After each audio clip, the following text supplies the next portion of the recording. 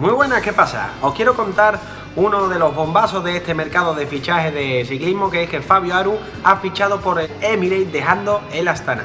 Y la verdad que os digo que es un bombazo porque, aunque se había hablado y se había sabido, ahora mismo el Astana se queda sin un líder de equipo, por decirlo así, con, con una experiencia y con una edad que pueda luchar. Está Miguel Ángel López, que tiene 23 años, bueno, el año que viene tendrá 24 años, yo creo que le darán todo el liderazgo, ha demostrado que es un gran ciclista y que puede optar a grandes vueltas y va a ser uno de los colombianos que vamos a tener que tener presente porque se le ve que va muy bien y que va a dar mucho que hablar. Pero es verdad que tiene 24 años y eso va con la experiencia. Yo creo que este año puede dar la campanada Miguel Ángel López, pero no sé si el Astana querrá hacer algún movimiento. Se habló en su día de que el Astana quería fichar a Nairo Quintana. Os voy a dejar aquí arriba y en la descripción del vídeo el vídeo que subí sobre si Nairo Quintana iba al Astana para que lo veáis al final y vamos a ver si, esto es así o no.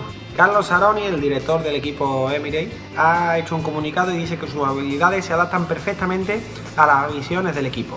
Además de su potencial, Aru es un ciclista que puede suscitar entusiasmo entre los aficionados es muy querido por su generosidad en la bici.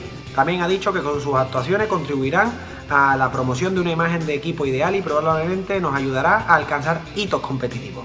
El corredor de 27 años, que fue ganador de la Vuelta a España en 2015, agradeció la fe que se ha puesto en él, que el equipo UAE Emirates ha puesto en él, ha depositado en él, y aseguró que espera estar a la altura de las expectativas. También ha dicho que le gustaría agradecer a todos los que han estado conmigo o con Fabio Aru en toda su carrera y que todos han sido importantes en su crecimiento.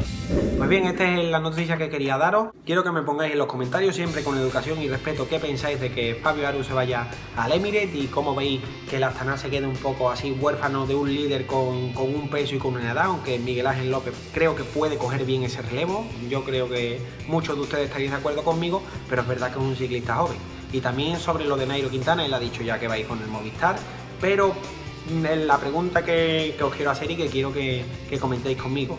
¿Creéis que este cambio, este fichaje puede hacer que se aceleren las negociaciones con Nairo y que lo presionen un poco más para irse a la Astana?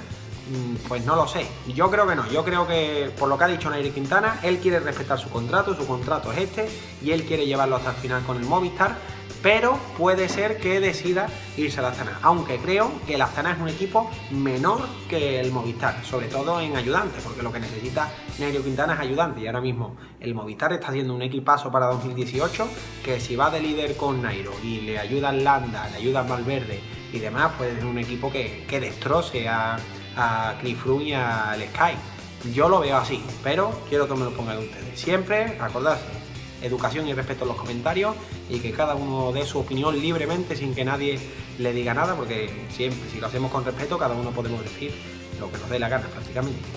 Muchas gracias por ver el vídeo, muchas gracias por suscribirse, que cada vez somos más, eh, compartir el vídeo también, darle like, que no sé si lo he dicho ya, y para no liarme más, nos vemos en el próximo vídeo.